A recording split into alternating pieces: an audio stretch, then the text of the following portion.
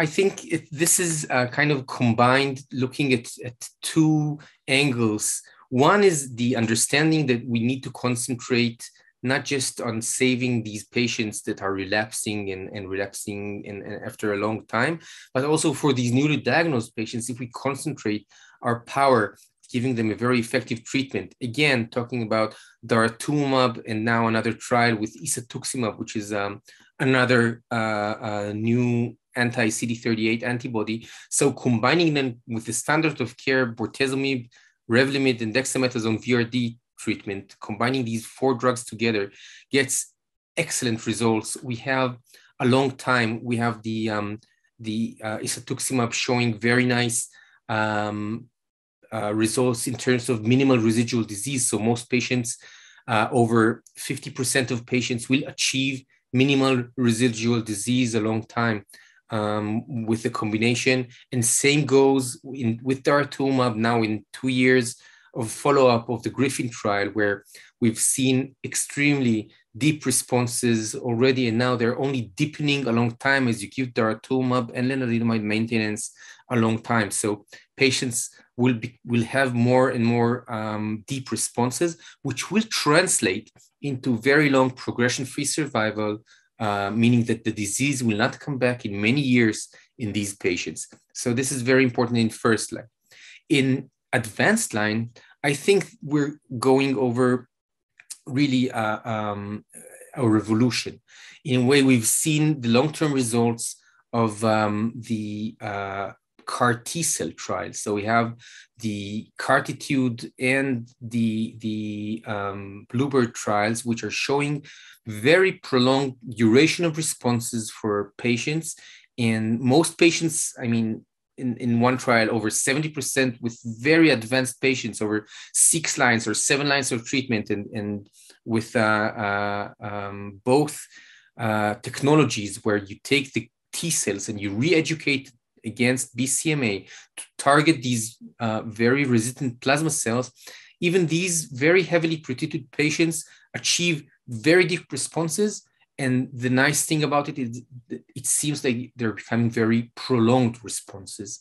And to that, we add the newly bispecific antibodies. So there are multiple trials now ongoing showing prolonged responses and very deep responses with these antibodies. They mimic the CAR T in a way. So one side of the antibody will bind the uh, immune system and the other side will bind plasma cells and they bring the immune system with the plasma cells. So together, um, this will cause the immune system to destroy the plasma cells. And again, we see very high response rate. And now after a year or two years of follow-up, Many patients stay in remission, and this is very amazing for, for very advanced patients.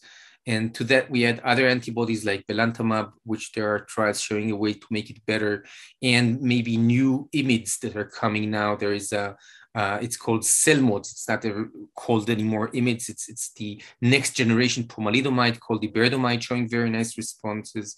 So in a way, the future of myeloma in the next few years is going to be very bright uh, things are changing, responses are better, side effects are less. Um, I think there's a very good perspective.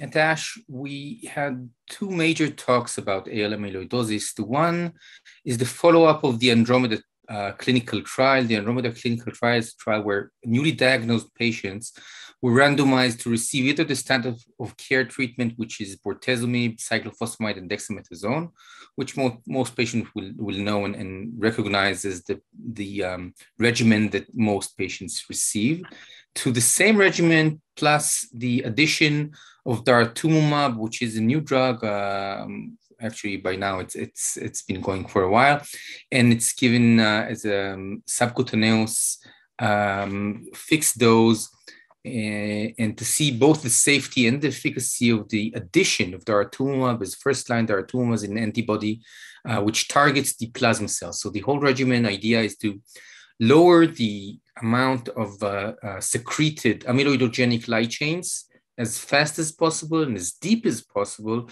in order to regain organ function. So the main idea was to get to the hematologic response, which is complete response. This is what we really want with the patients in order to, to achieve these goals of, of either um, better survival benefits and uh, saving their organs, which are damaged by these amyloidogenic light chains, which are secreted by the plasma cells. So what we can see, um, what we already know and have seen um, uh, in the initial results of the Andromeda trial, what the patients receiving the daratumumab on top of the bortezomib vel, uh, Velcade uh, cyclophosphamide dexamethasone treatment managed to achieve a much better results in terms of achieving a complete remission. And this did not initially um, translate into survival benefit in terms because patients who do bad will do bad no matter what they get. But most patients did well in both arms. However, those who got the daratumumab has achieved maybe three times better results a long time. And now, after two years of follow up, we can see that these patients who are getting these deep results, uh, mostly the patients who are getting daratumumab, managed to achieve better organ responses, meaning that their um, hearts work better and their kidneys work better even after um, half a year and much more than that a long time so over half the patients have recovered their organ functions along two years of follow-up, especially when they got the daratumumab.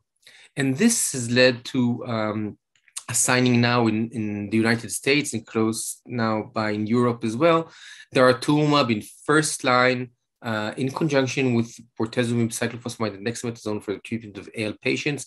And this is probably the first regimen that is being registered ever uh, for a amyloidosis, which is very much different from the treatments given up till now, which are really taken from the myeloma uh, world. Um, so this is the first abstract, which I think is is is very uh, important to talk about. The other abstract, which is um, also uh, very interesting and has um, kind of a follow up over the um, new antibody to dissolve the amyloido, um, amyloidogenic material that accumulates in the organs, mostly the heart and the kidney. The um, antibody is called CAEL-101. It is a monoclonal antibody which was manufactured to, to recognize the kappa or the lambda light chains, which are um, um, sedimenting in the organs, and to remove them from the organs. So this uh, uh, phase one, two uh, study uh, managed to give this antibody once every two weeks. And the good thing about it is that patients had very limited side effects. So there weren't too many side effects when the patient got them. Um, not a lot of patients, but these patients who got it had heart involvement and kidney involvement. And the amazing thing about it is that almost all patients, or, or a significant amount of them, has responded in terms of getting their organs uh, function better, both cardiac patients and um, kidney patients where, where the uh, protein secreted in the urine was uh, um, lessening a long time. Same goes for uh, uh heart uh, uh, function as measured by proBNP levels, which was um, which were getting better a long time.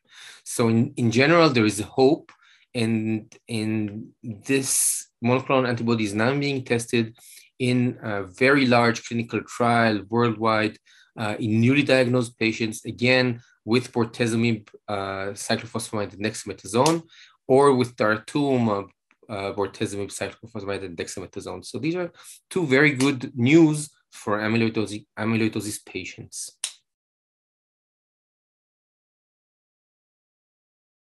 As, as I was showing, um, it was approved for a reason because daratumumab has shown very nice results, uh, especially a long time in these patients, making them, uh, rendering them um, with better organ function a long time, which is really something that we were missing even in, in large clinical trials.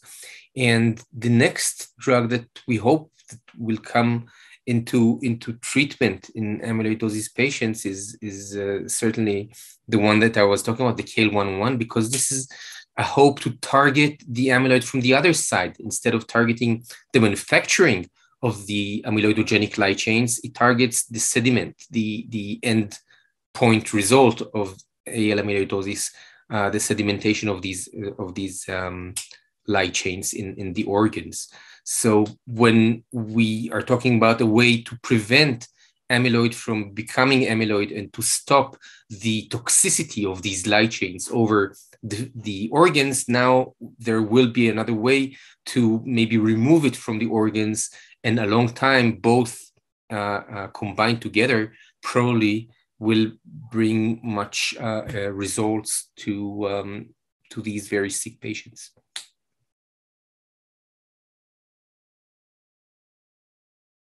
Currently, we in most patients, we will be using a bortezomib-based protocol in first line, usually combined with chemotherapy.